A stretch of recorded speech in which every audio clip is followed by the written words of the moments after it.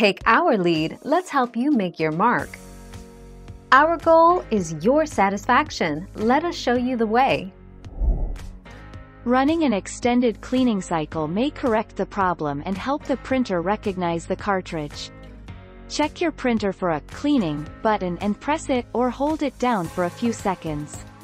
After running the cleaning cycle, print a test page to determine whether the printer can print again.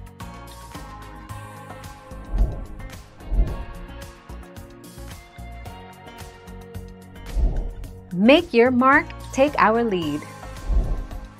Press the On button on your printer to turn it on, wait 20 seconds, then turn it off. Allow the printer to completely turn off. Repeat this step 5 times so that the HP cartridge identification information will be erased from the printer's memory.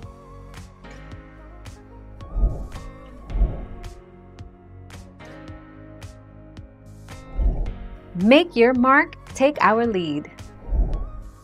Below are a few solutions you may want to walk through in order to try to fix your HP printer issues. Solution 1. Check printer status. Solution 2. Cancel print jobs for your HP. Solution 3. Set HP printer to default. Solution 4. Basic HP printer troubleshooting. Solution 5. Update HP printer driver, recommended.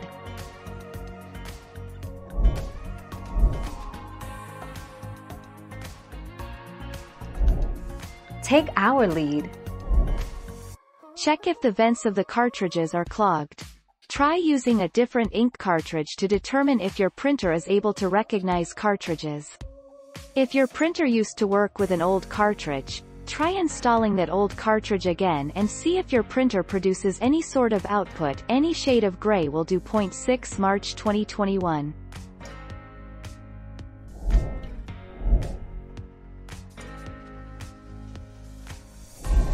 Make your mark, take our lead. Verify the ink cartridges has been inserted properly. If a lever has been changed from its original position to allow the installation of ink cartridges, ensure it has been returned to its original position.